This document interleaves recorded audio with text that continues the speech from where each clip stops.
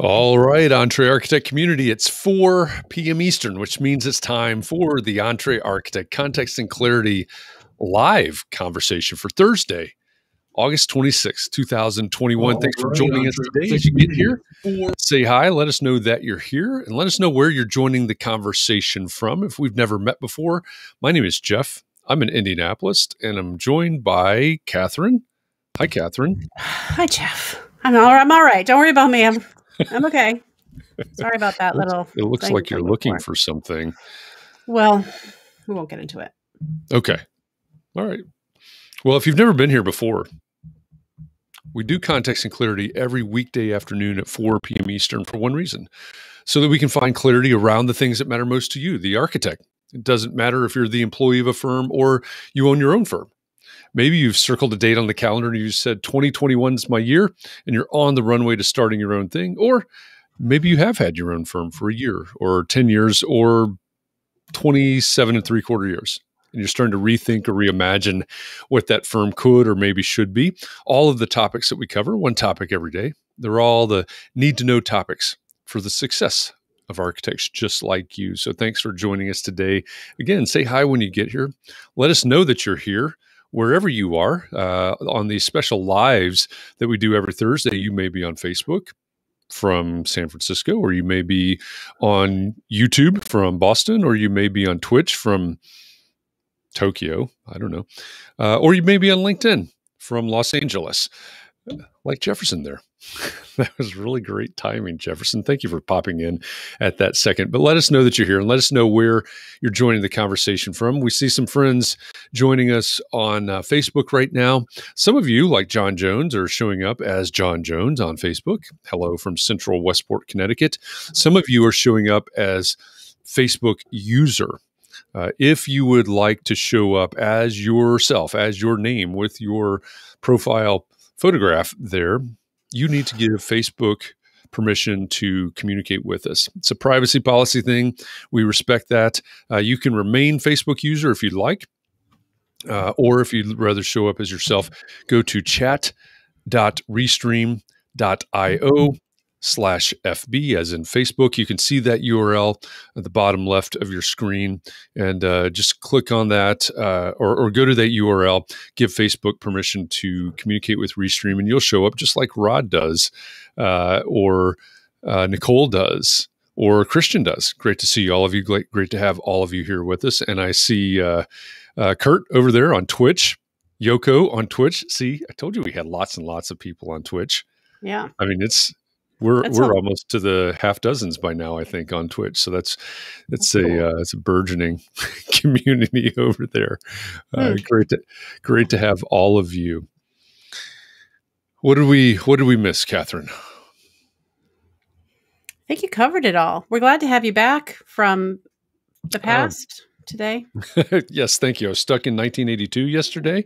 Mm-hmm. We had big storms roll through uh, yesterday morning, actually. I was on a Zoom call, which ended very abruptly. And uh, we lost power and internet and actually cell service uh, for uh, into the early evening. So interesting day. if you've ever if you've ever wondered what you would do, um, yesterday would have been a good test because you couldn't look anything up. You What'd you do? Did you play cards or read a book or what did you do? I took a nap. Oh, nice. That's good. and, and, I stood out on my porch and watched lightning. So, um, you know, there's a meme about Midwest dads uh, that's something like that. That's exactly what I did. I stood out on the mm. porch and watched lightning strike around us. So, um, so yeah, good to be back. Good to be back. Thank you for uh, for hosting context and clarity yesterday. Mm. Sounded like it was a good conversation and a great lead in to today's topic, actually. Right, exactly. Uh, That's the idea. You, exactly. Yeah. Those of you that weren't able to join yesterday, uh, we asked what it would take to uh, to get homeowners interested in building science, and that's the great. That's that is a a really good segue into today's topic. So, why don't I just go ahead and introduce our uh, guest today? Because we have a very we have a, a very good guest today that uh, knows an awful lot about building science. Our guest today focuses on how your home impacts your physical, social, mental, and economic well-being. She's an architect and an educator. Her holistic view of architecture and sustainability led her to be a podcaster and a show host. So she's the host of the E3 Energy and Efficiency with Emily podcast and the co-host of BS and Beer, that's Building Science and Beer, and the founder of Mottram Architecture. Emily Mottram, welcome to Context and Clarity Live. Hi, thanks for having me. I, I appreciate it. It's great to have you here, and uh, it, it's also very fun to have somebody that is really well versed in all of these online things and all of these these platforms and technologies. Um, and we can also uh, sort of uh, align on on our likes and dislikes for certain services. But uh, it's great to have you here with us today. Um, speaking of of shows and and BS and beer, I think one question, you know, as we get into spreading the message, maybe is is a way to say that. Where did the idea of BS and beer come from?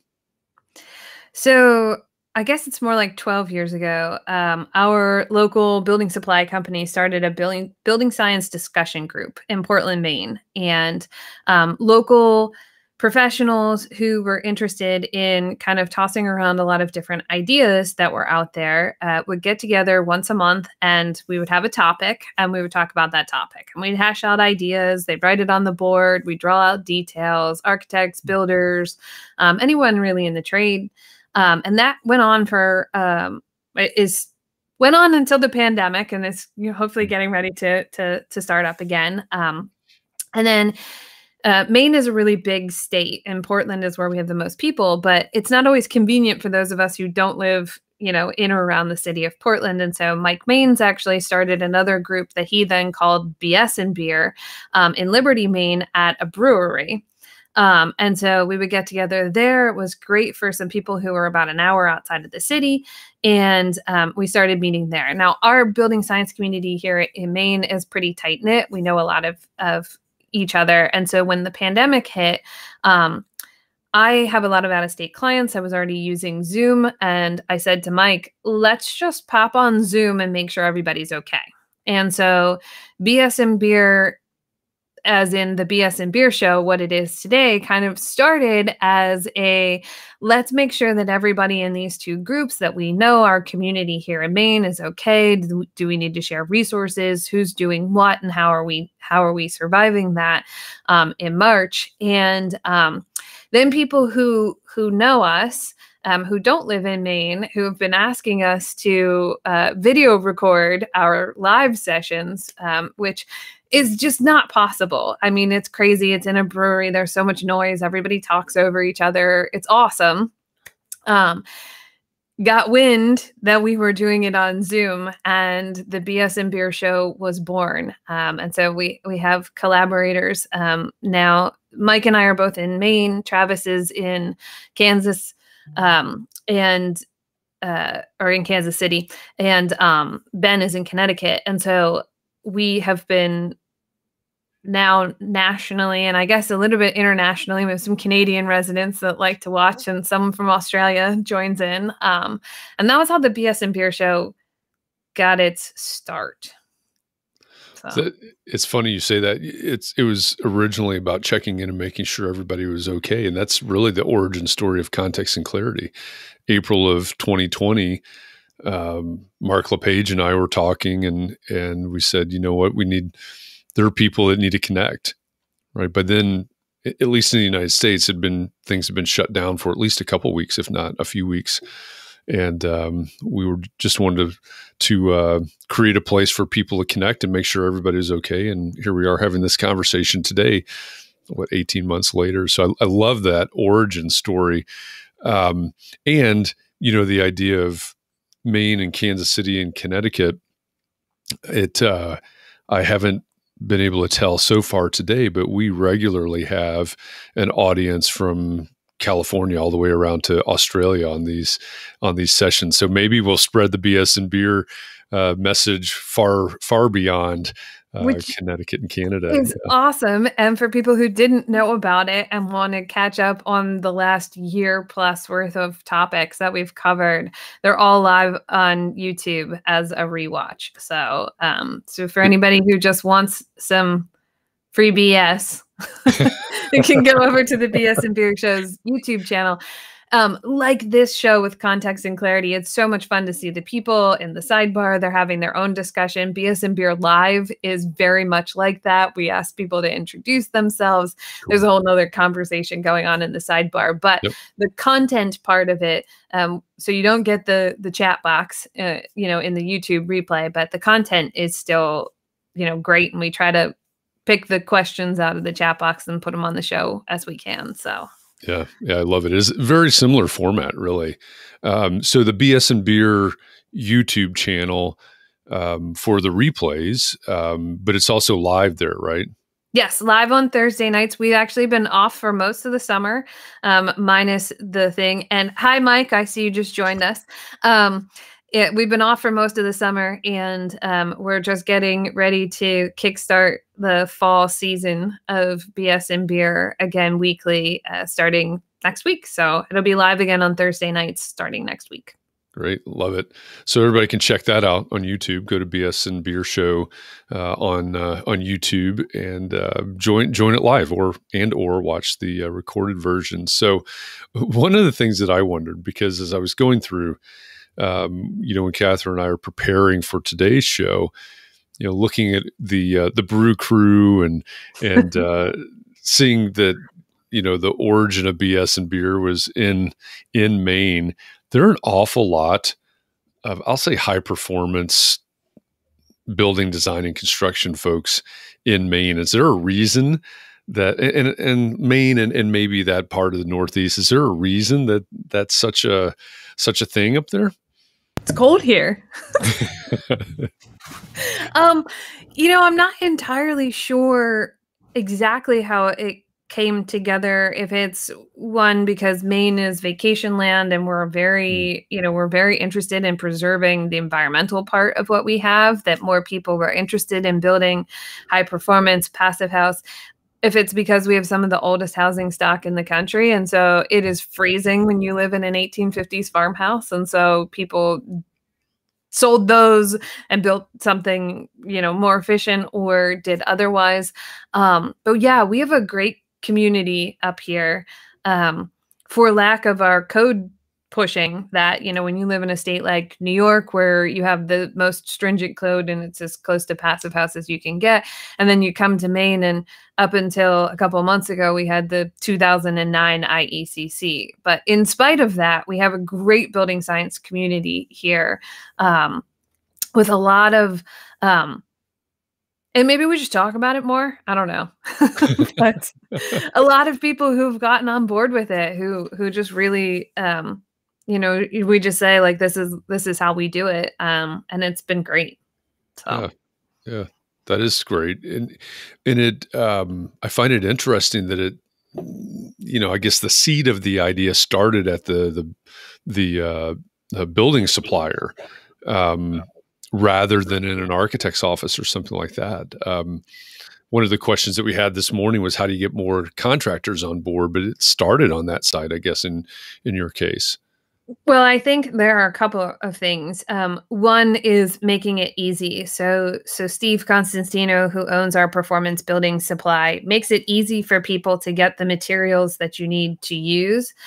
And then, I mean, he made it easy by doing the building science discussion group for people to collaborate. So when you didn't know the answer, you you knew there would be a, a group of other people who might be able to answer it. Um, Mike's been writing for you know, Fine Homebuilding and Green Building Advisor for years. And so we'll often say, oh, go check out Mike's article on such and such. And everybody knows who, who they are. And so I think in, in some cases, that's because it's a very collaborative group you know unlike the traditional architect uh, builder relationship that we're that a lot of us are familiar with in the building science world everybody seems to want to share their knowledge which is awesome because that's how we all get better so Yeah.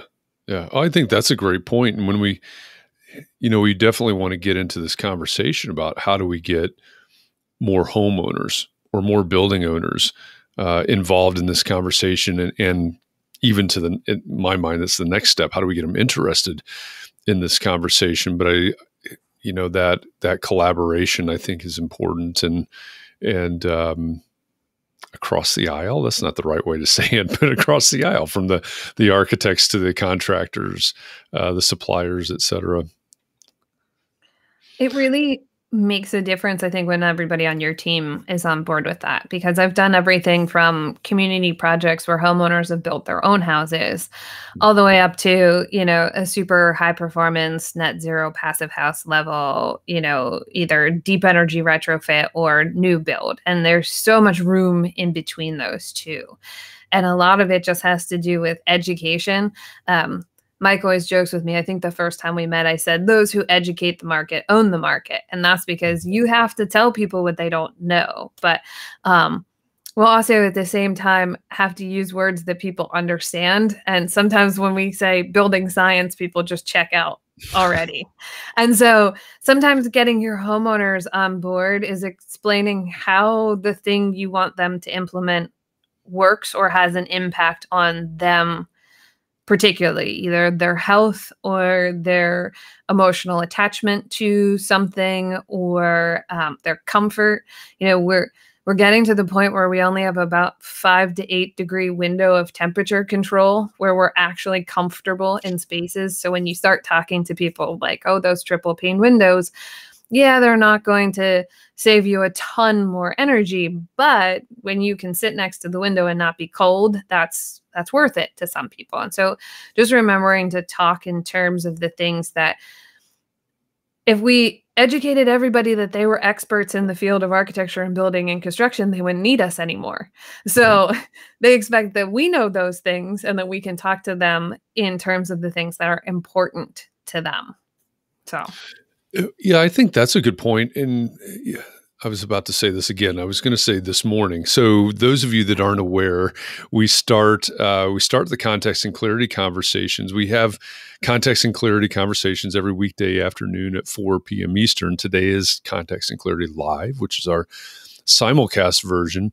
But we start, maybe secretly start, not really, because a lot of you show up, but um, we start the conversations at 9 a.m. every weekday morning on the Clubhouse app. And that, when I say this morning, that's what I'm talking about in our coffee conversation.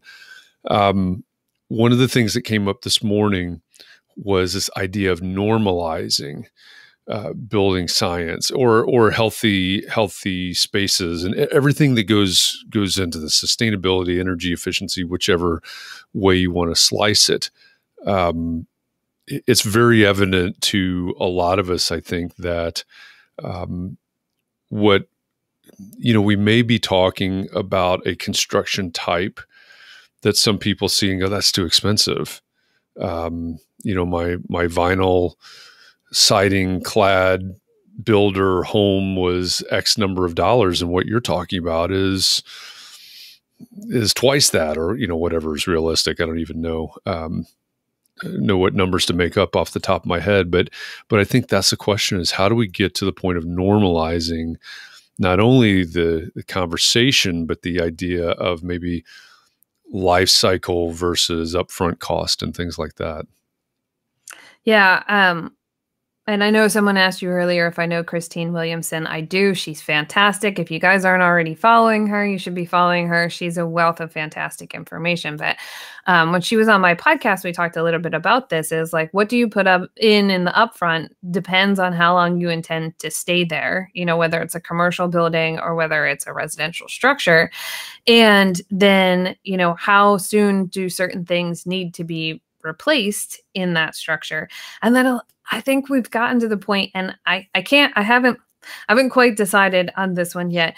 If the real estate market it has people moving and selling their houses every five to seven years because they move into something that they don't actually like, that doesn't actually fit their needs and is cold or hmm. doesn't perform well or whatever. Because we always joke that we can't get the appraisal market to give better appraisals on these high performance houses because people don't leave and they don't sell them because they're really great to live in. Um, and so it's always the conversation between you know building for the future future sales and you know and longevity. And i think when you're an architect trying to sell it to a contractor you talk in terms of durability. Nobody wants a callback in a year three years five years because you've got a durability issue related to you know because the the naysayers on building science are you know building science has caused all of our buildings to mold which is a total lie.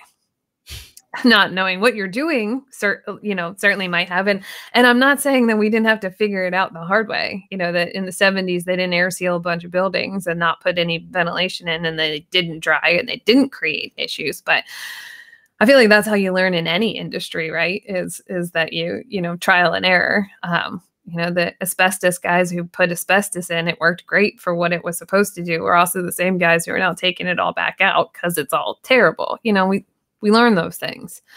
Um so.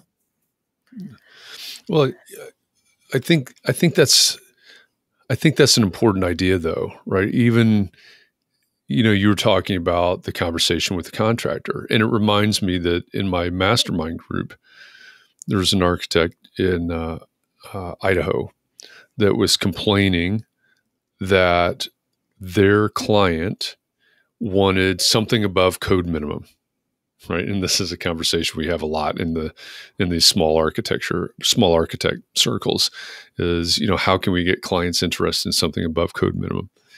And so this client wanted something above code minimum. They started designing it. They weren't designing to passive house standards but you know something better right?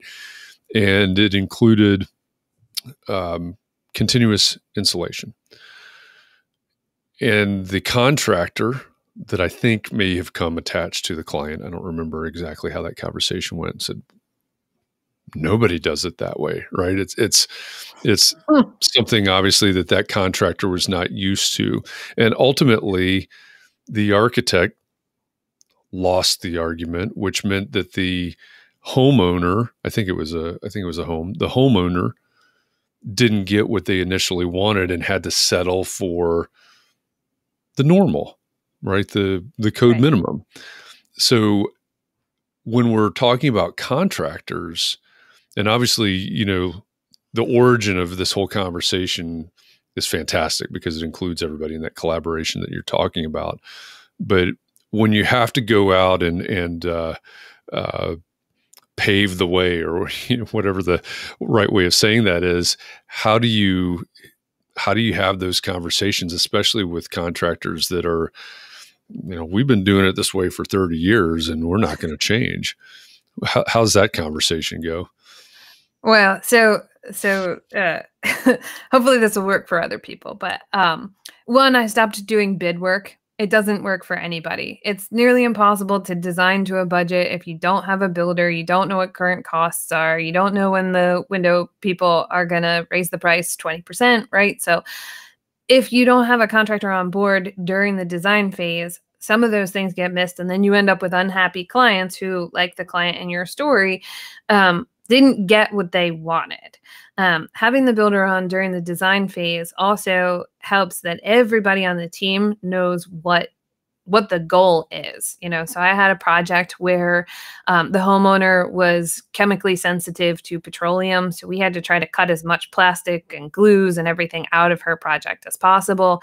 And from the very beginning she said i want to talk to every subcontractor i want to talk to everyone. I know this is a little bit different it's out of the norm but i just want them to to realize this is why we're doing it and that project went amazing because everybody was on board we did things that were you know that the the builder brought to the table. He's like, we only use board sheathing. And I'm like, great, we don't have a stitch of plywood in this whole house. That was a huge win. And that's how they practice normally. So some of it for me is figuring out what they already know so that the things that we're changing are as minimal as possible, which hopefully will make it easier um, to kind of achieve those really important details.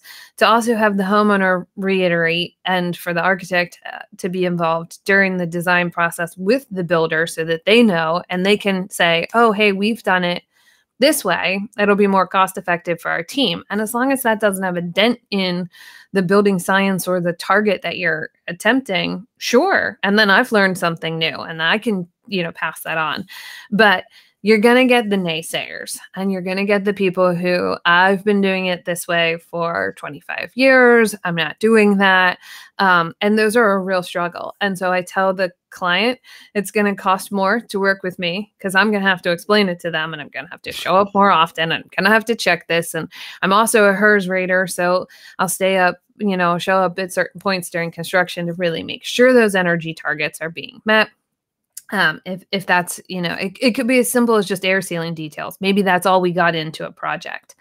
Um, but generally if i start a project and they come with a contractor and that contractor doesn't have a very open mind about what we're doing that's an opportunity that as designers we have to remember that it's also our right to walk away from a project. Like it is my personal reputation that i have to stand on and say I don't feel like this is the right thing that they're recommending to you. One, for code reasons, two, for where we live, three, for we just spent six months talking about your health, and now you want to do something that I'm telling you is probably not a great idea. And so it's a little bit hard. I'm not saying I haven't ever done projects like that. I certainly have done projects but if you're breaking in a new a new person into building science whether you're the builder and you're breaking in your designer or you're the designer and you're breaking in the builder or you're both trying to get the homeowner to to to get on board uh, with that it all just comes down to respect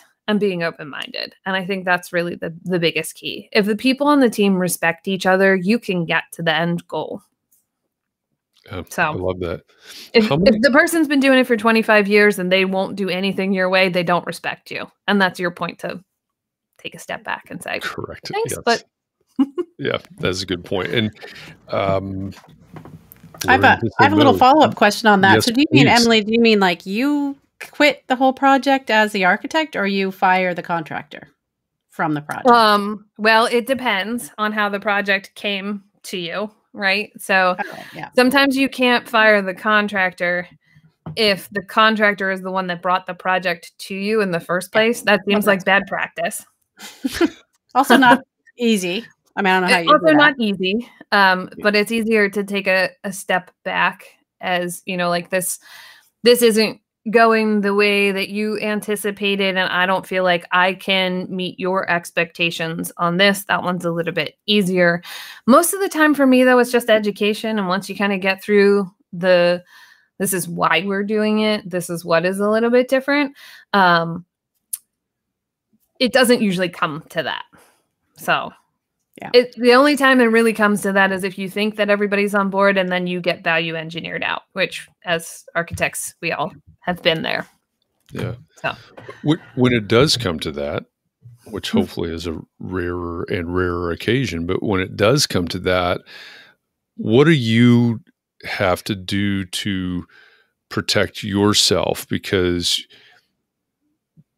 designing the way that you do, designing the building science that you do, if it's not implemented correctly, could go horribly wrong, right? So is it simply a, you know, here's a release, you have to sign this, or what do you have to do to protect yourself in that case? Well, I think it depends on whether you're backing out of a project that you got value engineered out of. Um, if I get value engineered out and they're like, don't come to the job site, whatever, then I would do a release. Um, if it's one where the project ends before we get to final construction, um, I would definitely do a release because that would mean that people wouldn't understand. But as architects, it's also one of those weird things between like going to the job site and learning and understanding, but also not being in the position where you're telling someone what to do on a right. job site, which then changes your liability. So, mm-hmm. um, being careful with your details and showing up on site, I find is usually the best collaborative effort. Um, there is always a possibility that somebody doesn't understand or doesn't follow it correctly and that's that's tough but that's kind of any construction i think you know right. um Uh, that's anywhere from how you attach your siding to structural pieces to building science pieces to, you know, you put in an ERV and it doesn't run and it's positive pressure on the inside of the house and it pushes moisture into the wall. So there's so many, and this is something that I, I feel like people are starting to grasp, but it's complicated. Construction is complicated. And so knowing how all those parts and pieces work together and that your house is a system of interrelated parts is critical. And that's usually where I start any of my building science stuff. Like if you're going to change something, it might be okay, but we should talk about it. Yeah. So, and and more collaboration at that point. What um so we talked about the home or the uh, the contractor side of it. I'm assuming that well, I shouldn't assume. How many people how many potential clients are coming to you that are not interested in um, high performance design and construction? Many one at all? Out of, one out of 10. And I say that because at this point, if you don't know what I do, if you, yeah. you must not have Googled me at all. right, right. Also, um, my other secondary specialty in Maine, because we have a lot of water, is anything within 250 feet of a major water body. So sometimes people come to me because they're building a camp on water or renovating a camp on water, stream, lake, river, the ocean. And so sometimes we do occasionally have a couple of projects that are you know not year round homes that don't have to i mean they still follow the terms of building science and the physics of building like you still don't want it to get mold you want there not to be water in your building things like that but they're not maybe as stringent as you know our our net zero houses or or something right. like that so yeah yeah so most of the people that are coming to you you, you've you've built a brand, right? This is my terms. You've built a brand uh, yeah. as as a building scientist and architect. Um, so nine nine out of the ten, right? Know what they're getting into. Let's say it yeah. that way. The the one out of ten. Is there any attempt to to convert them? Oh, um, oh, absolutely. Um, so nine out of ten know what they're getting when they show up. They're looking for it. They're asking for it. They're they're looking to do. You know, um, uh, I did a lot of energy consulting before, um, or while I was doing building my practice, and so nine out of ten know what they're getting into. They're looking for some kind of high performance. They're not looking for just code built this or that the other percentage just get it as a byproduct because I'm unwilling to do some things. And so, as a minimum, we're going to do, you know, X, Y, or Z. Um, whatever that is, whatever their target goal is, if it's an addition, if it's a if it's a renovation, if it's a new house, um, and they get a lot of education from me. Um, and depending on who they are, depends on whether or not they want to get into the weeds. I've had some engineering clients who want to know absolutely everything. And I've had some other people who have been to the job site twice during the entire design and construction process. And they're like, this is what we want. And they'll give us, you know, a feeling or a health reason or whatever. And we just produce that for them because that's just how we practice. There are just, there are some things that I'm not willing to do. Um, and so and those people sometimes come with contractors and those are sometimes the projects that we have to just say you know hey okay we need to make sure everybody is on board here. Yeah. but we, we may or may not be the right fit. Right. And so it's usually not a matter of me convincing them to do it. It's saying this is what we think is the right way to do this um, and that they either don't care enough about the type of insulation I want to put in there. You know, like what's the difference between fiberglass and cellulose and spray foam? And oh, I heard spray foam was X, Y, and Z. And I say, I wouldn't put spray foam in my house. So, you know, why would I tell you to do it? Um, and so I just, we go through all the details and we talk about what what they're trying to achieve and generally i don't get a lot of pushback on it so, how do you have that conversation? Um, you know, a lot of times I talk about meeting people where they are, as you know, we we can't we can't talk way above. You know, we don't want to dumb it down. We've got to meet them where they are. So, when it comes to building science, and and that one out of ten that shows up, they don't know. they they don't know what they just stepped into. Um, how how's that conversation go? What words are you using? Um, I I don't remember. I know this is from one of the podcasts that I listened to. Uh, you know, and we had Seth Godin. Seth Godin came up in one of your podcasts. Uh, we had Seth Godin as a guest uh, months ago, and uh, the example was, you know, you have to speak to people's emotions and you know what they want, uh, give them what they want. You know, then maybe design what they need, that kind of thing. But how do you communicate with people that that one out of 10 so that they do get it?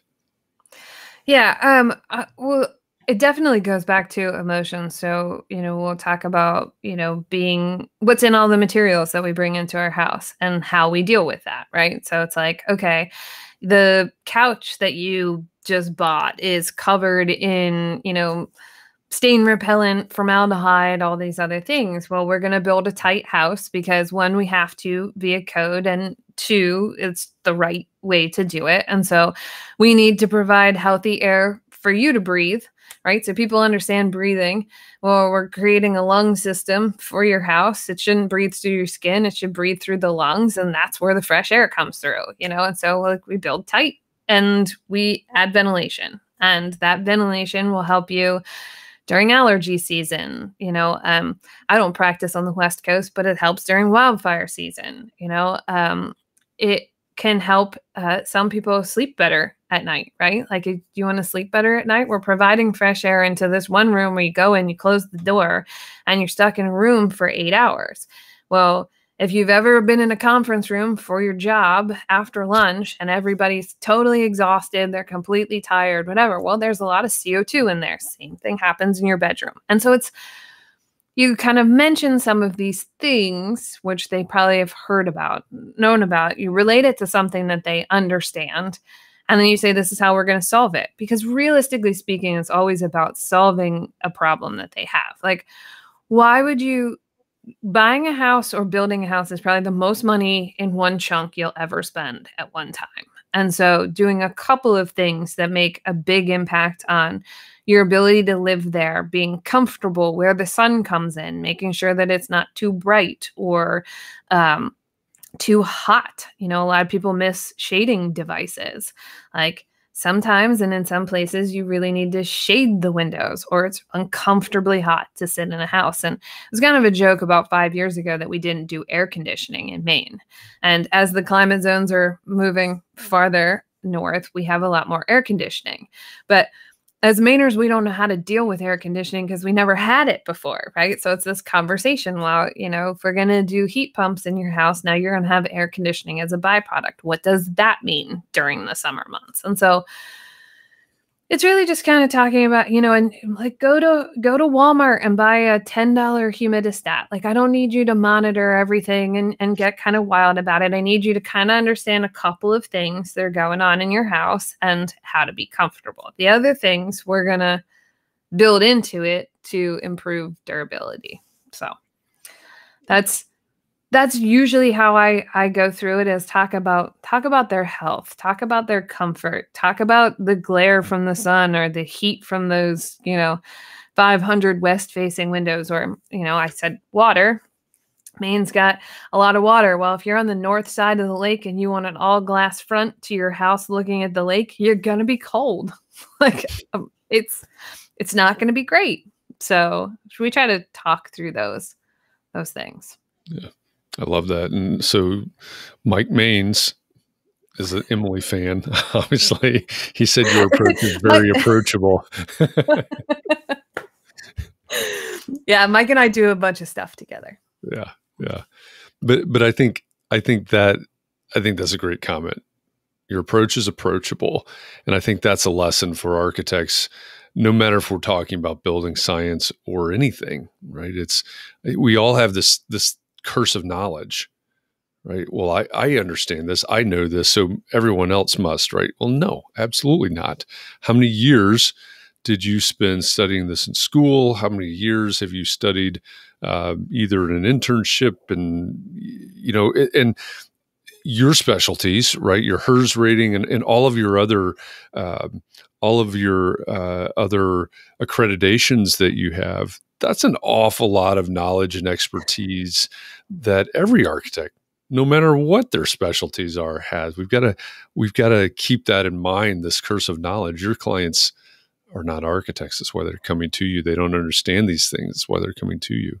Or they don't understand it and and I know you're an educator as well. Um, I think we don't know how well we understand it until we have to teach someone else exactly. what it is. And so um, yeah, I've I've been a lifelong learner in this. I mean, my grandfather had a solar panel on his roof to heat hot water when I was a kid. And so just from the beginning and I grew up in a farming community and a lot of farmers will reuse everything, you know, and it's a very farm to table. And so I think I just was brought up this way and then I'm a lifelong learner. So every time, you know, I got to do CEUs, I got to do continuing education and you know, I started with a bunch of different certifications until I got to the passive house certification. The guy says to me like, "Why are you here?" so I'm like, "Well, you're going to teach me something I don't know yet." Right? And so for me it's often important to repeat those things to to the builders to architects to other designers to my mm-hmm. students because it's always better to assume that someone doesn't know and give a refresher than to you know to assume they do know. You know and i say this in my sustainable design class too is if i'm talking about something and you don't know what i'm talking about i don't know that you don't know so you have to tell me.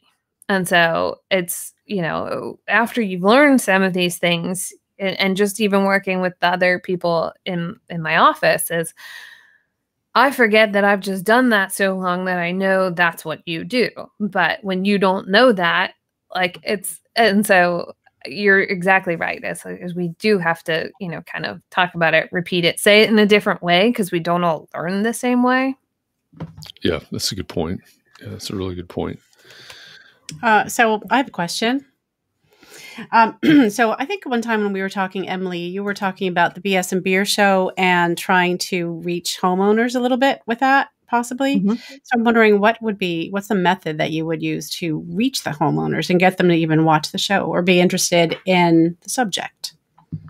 You know, because because it, I mean, I think a lot of it starts with the homeowners wanting wanting to implement a lot of these things, right? So so there are a bunch of different types of shows that we do on the BS and Beer show. Everything from expert level shows where we have people who know 10 times more than I do come on and talk about specific topics.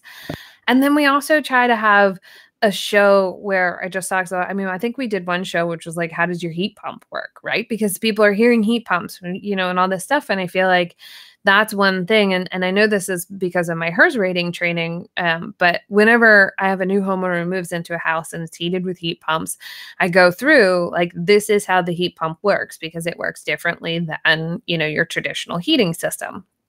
And like every time we have to do that right? So we try to do shows where we'll talk about something they've either heard about or might know something about that they are going to get asked about on um, on their project, right? So someone might want you to weigh in on this.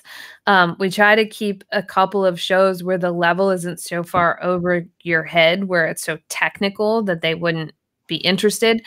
We do case studies where we'll talk about, you know, this is a project and these are all the things that went into this really cool project. Because I think, and especially from my podcast as well, they respond very well to other homeowners talking about their experience, what they did, how it worked for them.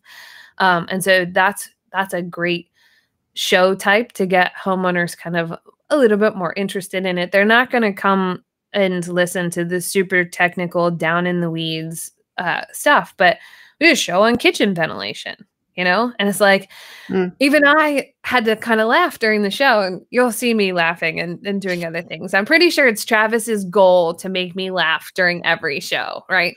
Um, but I, I said off the screen in our chat box, I was like, did he just say I have to use my range vent hood when my toaster is on?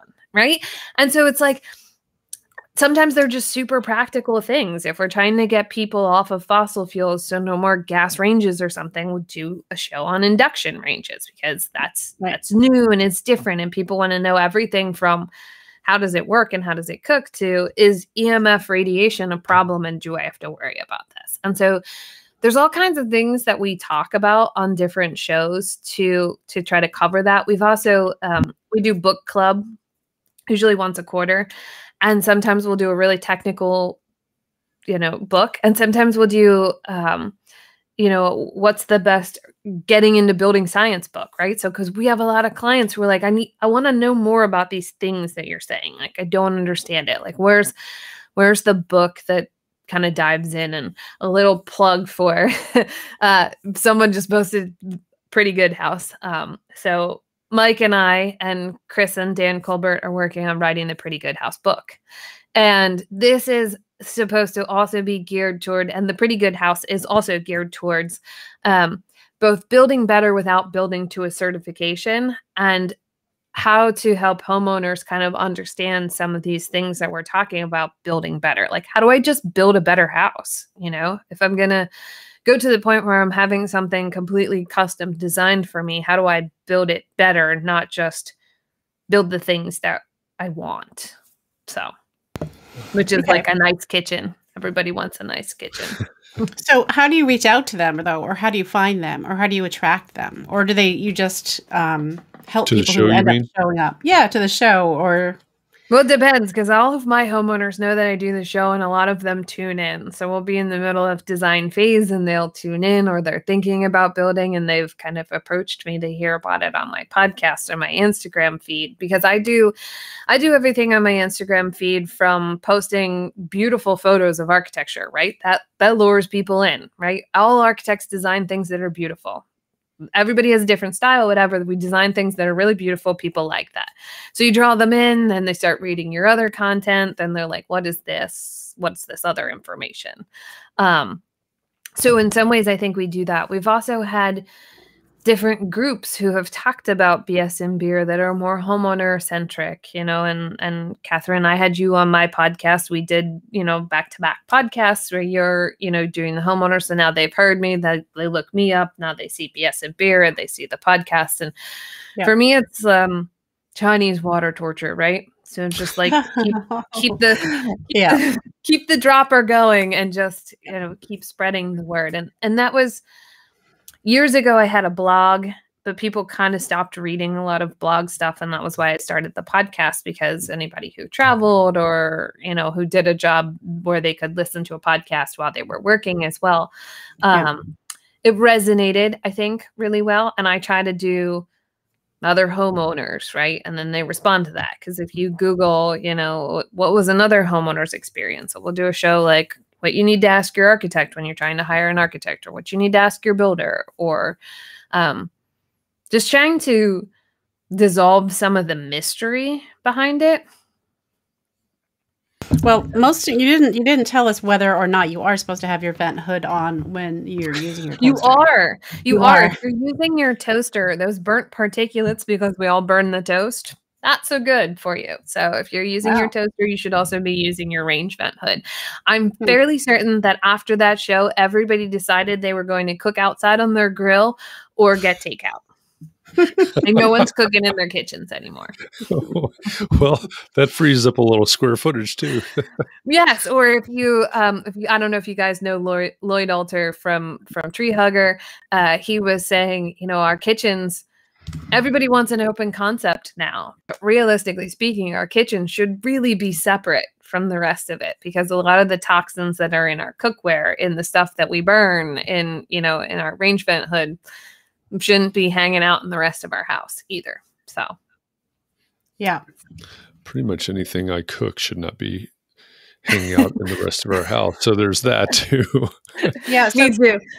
Christian had a question earlier about how much of your because you're an architect and so mm-hmm. you get paid to do that and then you do so many other things as well. So he was wondering what percentage of your income, I don't know if this is a polite question or not, but how what percentage of your income comes from being an architect and versus 100%. the rest of everything?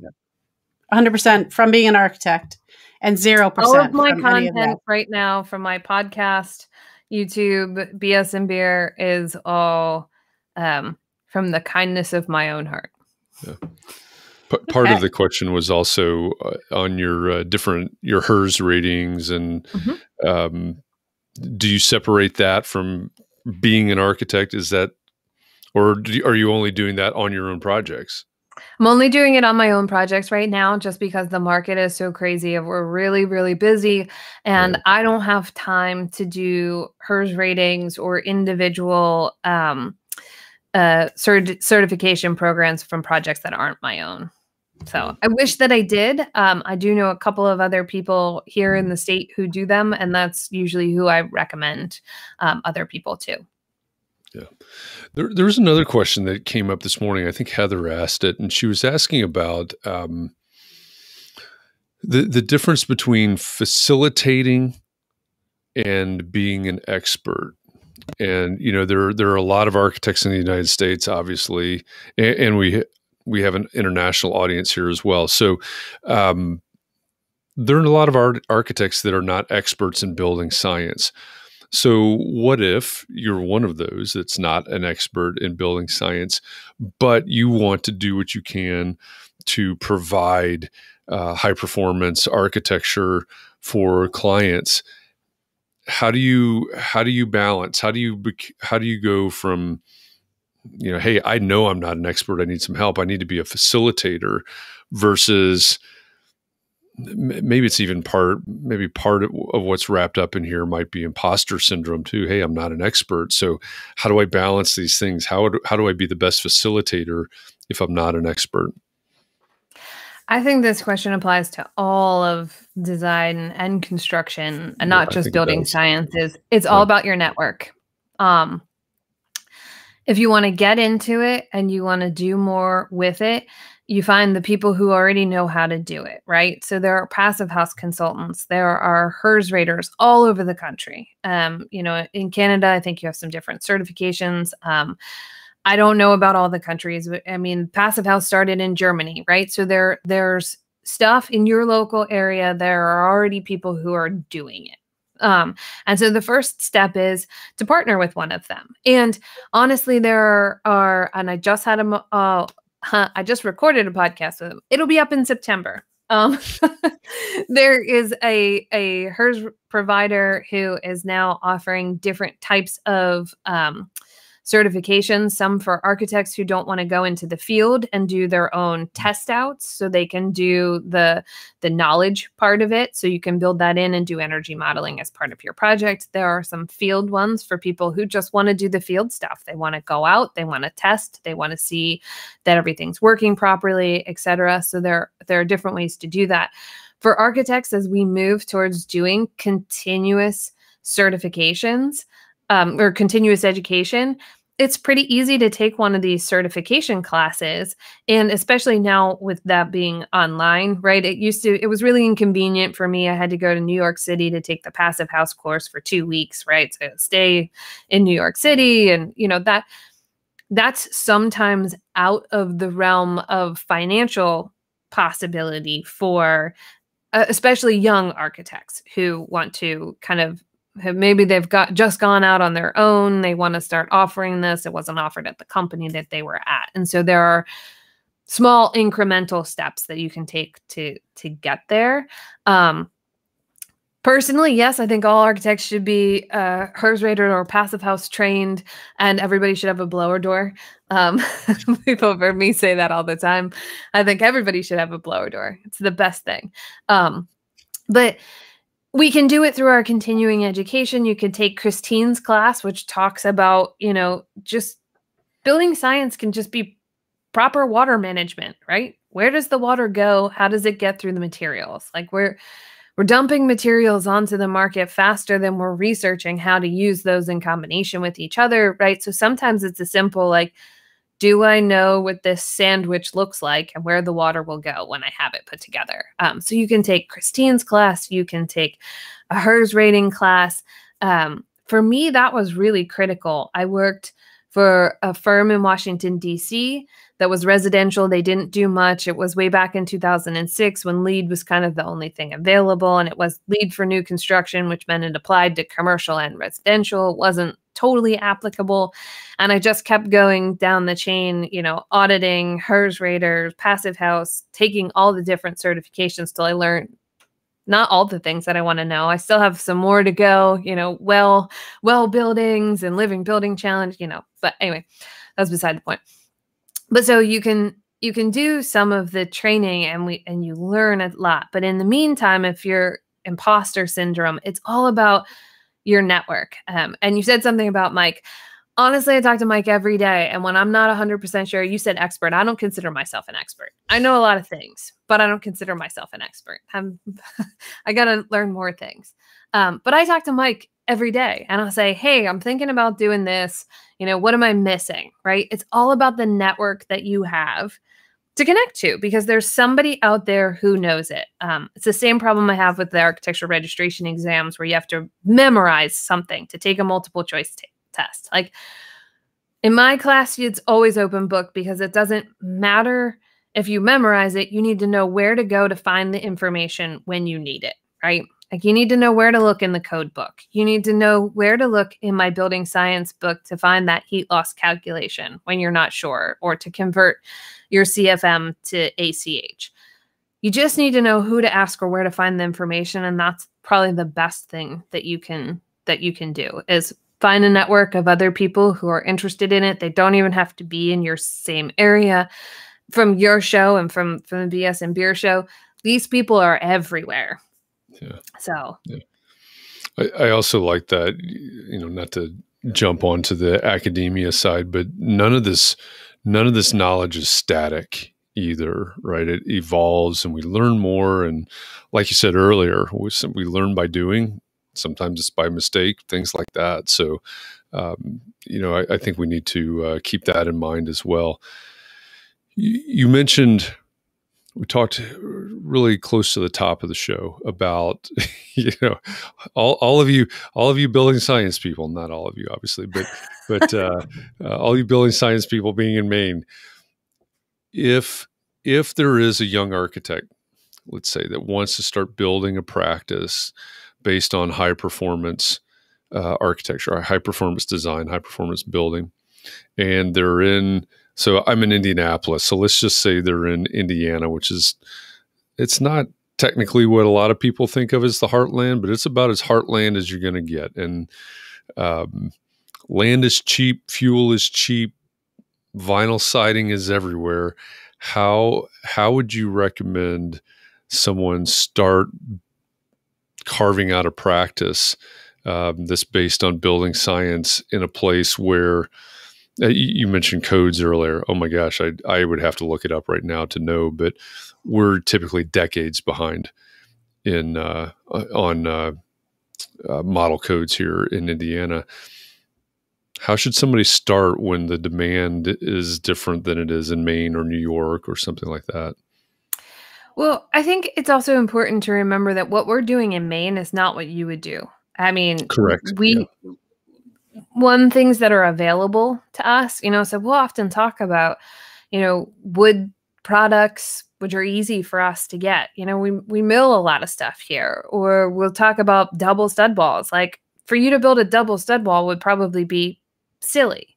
And so it comes down to a matter of availability um, and then asking for that availability so i know a lot of times when we talk to to travis out in Kansas City, you know, he's he'll say the same thing. He'll say, yep. you know, I can't get that here or, you know, who's the supplier? And so we try to talk to people who, you know, for products that we have everywhere, you know, like how do we get Siga carried in your local supply house so that it's not you having to order something online that takes forever to get there, whatever, you know, and and what's a what's an easy switch or choice, right? So like maybe cellulose isn't easy to get. Maybe you can't get cellulose in, in that area, but could we switch from fiberglass to rock wool? And that might be a better solution. Or, you know, can we not put spray foam in, which is expensive, but meets the air sealing targets, but use a membrane instead, right? And so it, it's it's sometimes not going to be and and even in the northeast we had to evolve too you mm-hmm. know, right? And and um someone actually who came to visit us recently said, you know, I was shocked at how much vinyl there is in Maine. I mean, there's still a lot of vinyl here as well. So we talk about things, you know, the offcuts to wood siding for us can can be recycled. They're biodegradable. Um, people can burn them in their wood stoves if they've got a wood stove, and so you're not sending a bunch of stuff to the dump, right? And it costs you to send stuff to the dump. And so sometimes it's just as simple like, let's try this one thing, because that's often then what they'll be super excited to tell you about. So, um, Bob Swinburne, amazing architect in Vermont. Uh, you guys here on the EntreArchitect community have to know who Bob is. Um, we we do, and also he said hello. He hasn't changed from Facebook user, but he's here right now, and he did say hi earlier. Somebody said hi, M, so I assumed it was him. So, hey, Bob. I had the pleasure of interviewing um, one of his clients, and you know, th- this is a super high performance house, all, all, kinds of stuff. And I got to go to the job site now; it's under construction. See, see, and meet the client after I did the interview with them, and he told me all about how much they salvaged from the original house. Like this was this this cool thing that they were really, and so sometimes when you're starting out, it might have to be where you find the one cool thing that they can latch onto, that they can talk about, that you build incrementally. I mean, we started first with just doing better job air sealing. So when I was doing a bunch of community projects, we just tried to get our target really low. Like, how do we air seal in an easy way that's easy for a homeowner who's building this house to understand? You know, and then we we moved to dense packed cellulose walls. And then we moved to getting rid of the oil boilers because we did so good when we were air sealing that we were backdrafting them, which was bad. So um sometimes it's just simple things, you know, and now our code just changed and we have to do a continuous layer of insulation. And so we said, you know, here are your options. You can do um, continuous exterior insulation, you can do uh, T studs, or you can do a double stud wall. What do you think is going to be the easiest for your your homeowner to understand? And so we batted around ideas and we made that switch for them. Um, and so it's it's incremental, and I think we were keeping up with the codes, we would stop saying the code built house is the, the worst one. If everybody just kept going to the next level, then to the next level, to the next level, and that it's, you know, it's not that we're asking you to build a zone seven passive house in Indiana, right? Because that would right. be silly. That would be a mm-hmm. waste of your money. We would never right. recommend that. But it's about knowing what you have available to you as a resource, knowing what's in it right? Because we're building these houses and we're building them tight and we're leaving homeowners with who knows what in, you know, in the houses or that they're going to bring into the house afterwards. And so sometimes it can be simple. We did a wall system competition um, through BS and Beer, uh, and it was uh, through Travis's group. And I think the wall system, they either won or came in second, had T111 uh, siding. You know, I mean, it was a T111 wall without continuous insulation because in that location, it was cost effective. It made the most sense. It improved the efficiency. And so I hope that people don't kind of get stuck on going to the level that we have to in the Northeast to stay warm when it's negative 15, but can apply what might be available to them. And then if it's not available, start asking for it. So you know, asking the local lumber supplier or building supplier or whatever to carry carry these things because they'll say like, "Oh, we can't we can't sell FSC certified lumber because no one buys it." Well, if mm-hmm. no one knows you carry it and you only have three sticks of it, we can't buy it. You know, so right. like chicken and egg. Yeah, exactly, exactly. So Sean, I, Sean wants to know what a blower door is and where you can buy one because everyone has to have one. So he's on um, his way. Minneapolis and Retrotec both make blower doors. Um, and essentially, it depressurizes a house to see how leaky that house is. And we use it in a couple of different ways. One, um, as the codes get more stringent, we use it to make sure that we're meeting the code. So the 2015 IECC says uh, three air changes or less. I think 2021 might be even lower than that. Um, and uh, we use it for blower door guided air sealing because it's really hard to air seal something at once you only have switch plates to put on. So it's a lot easier to figure out um, where your air barrier details need to be improved. Um, and anywhere you have air movement, you have water. So sealing the air really helps with water in buildings. Um, so we do blower door guided air sealing. And um, if you're doing any kind of certification, passive house HERS rating, et cetera, uh, you need that number to evaluate how much um, air your house has to reheat every hour because that's an energy penalty. So that's where you would use a blower door. They're really simple. I think everyone should have access to a blower door. So if there are a couple of you in a similar area and you can buy a blower door together and share it, because honestly, you're not going to use it every day, all day. You're going to use it periodically. It's not the cheapest piece of equipment to buy, but it's not, in my opinion, not terrible. It's a great investment. Go in together with a couple of people, share the equipment that you need to, or borrow it from somebody who has one.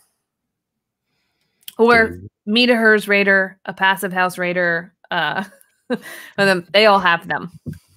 Back, so. back to your network. Mike says some libraries rent them. I don't know if that's a Northeast thing. I think that might be code for something. I'm not really sure. yeah, I don't know what kind that. of reaction you might get if you went to the library asking yeah. about that. yeah. Well, yeah. they used to have the energy meters that you could plug in and see how much electricity your your refrigerator was using. So at the true. library. At the library. They have a lot of weird stuff at the library, or things you might not imagine at the library. Actually, very useful. I'm, I'm going to have to check that out. walk in, say, "Hey, I'm here." We should buy every library door. a blower door, and then people would always have access to it. There's an idea. or create a tool library, which the Facebook user, maybe that's Bob. Mm, uh, Hans. Oh, Hans, Hans. Okay. Yeah. Hi, Hans. That's a great idea, Hans. I second that. Tool libraries. There you go. That's a great idea. idea. Get a pod and a, a lock. People can just go put their combination in, borrow, put it back. Or a fob. You could have a pod and a fob and you'd be all set. Yep. Hmm. you mentioned uh, codes a minute ago, and that's a great segue to tomorrow's topic, too, because tomorrow we're going to talk about the future of codes. What are the future? Do they need an overhaul? And specifically, what roles should architects be playing in the future of code writing, code adaptation, or not adaptation, adoption? Um, so that's tomorrow's topic for context and clarity conversation, both at 9 a.m. on the Clubhouse app and at 4 p.m. Eastern uh, for the context and clarity conversation in the EntreArchitect Community Facebook group. Emily, this has been a great conversation. I really appreciate everything that you've shared. I think we could probably keep going for several hours, but um, that's because I talk too much. Everybody who knows me knows that. not, not at all. This is this was great, and uh, um, I, my encouragement to everybody. You know, I'm my my role in in this profession is the marketing, the brand, the business development part. Um, my encouragement to everybody is really listen and understand what Emily was talking about in terms of being approachable, as as Mike put it, but but meeting people where they are, helping them understand what's in it for them.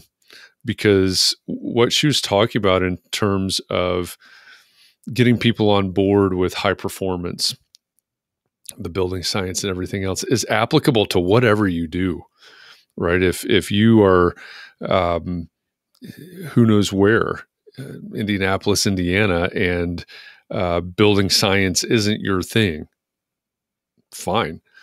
That lesson that Emily just taught us about being approachable and the emotion, uh, appealing to the emotions, et cetera, that's really applicable to you helping people understand what you do and how you can help them and what problems uh, you can solve for them. So, Emily, I appreciate it on a whole lot of levels. This is a good conversation today.